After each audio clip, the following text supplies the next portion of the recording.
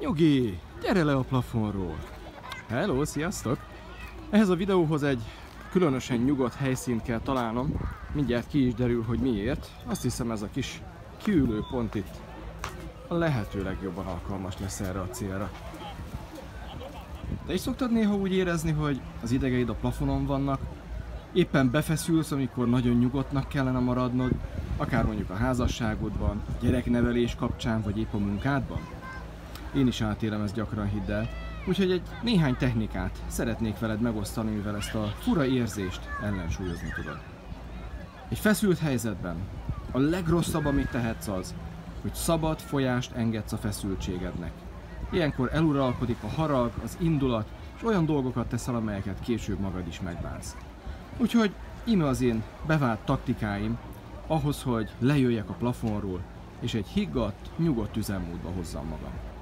Először is, észrevetted már, hogy a hangod mennyire megváltozik, amikor feszült vagy? Én gyakran felfigyelek rá, hogy sokkal jobban hadarok, sokkal magasabb hangtartományban beszélek, és hangosan. Ennek ellensúlyozásaként nagyon egyszerű a dolog, elkezdek tudatosan, lassabban, halkabban és mélyebben beszélni. És miközben ezt teszem, magam is kezdek megnyugodni, lehiggadni, lejönni a plafonról. Egy másik dolog a légzésre való odafigyelés. Egy pillanatra tedd oda a kezed a hasadra, és próbálj meg úgy levegőt venni, hogy közben a hasad kidomborodik és kinyomja a tenyeredet. Aztán enged visszazuhanni. Aztán megint hadd domborodjon, aztán megint vissza. Két perc alatt, akár 130-140-ről a púzus számod képes 70-80-ra leugrani.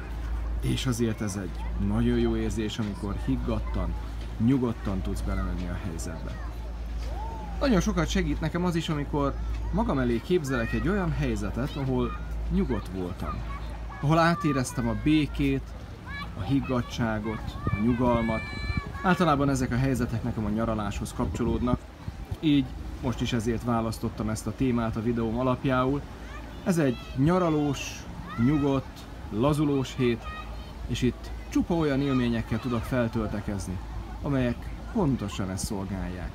Emlékképekként eltárolom őket az agyamban, és amikor szükség van rá, egy gomnyomás, és előhívom. A legjobb érzés az, amikor lenn a vízparton, félig benne van a testem a vízben, kellemes, langyos vízben, a testem felső része a meleg homokban, és érzem, ahogyan a víz mossa a lábomat. Azt hiszem erről nem beszélni kell. Ezt meg kell mutatni. Megyek is! Megmutatom. Ó, igen, pontosan erre gondolok. Ez az a kép, amit az elmémben elraktározok magamnak, és a következő időszakban minden alkalommal, amikor befeszülnék valamitől, amikor úgy alakulnak körülöttem a dolgok, hogy inkább magas tartományban ver a szívem, mint alacsonyban, előhívom, és erre gondolok. Magam elé képzelem a vörös tengert, hogy hullámzik, a vizet, ahogyan nyaldossa a lábamat, és már is visszakapcsolok néhány fokozattal. Kérlek, bármi is hoz ki a sodrodból, ne engedd meg, hogy benned maradjon ez az állapot. Indulattól vörös fejjel nem lehet békés megoldást hozni egy kapcsolati vitában. Úgyhogy bármit is tegyél, tedd! Tedd azt, ami lehoz a plafonról. Nyugi, kapcsolj ki, gyere le! és a hatás természetesen megsokszorozható egy finom koktéllal, amit itt a bárban Mohamed kever nekem, természetesen szigorúan alkoholmentesen. Szándál, arra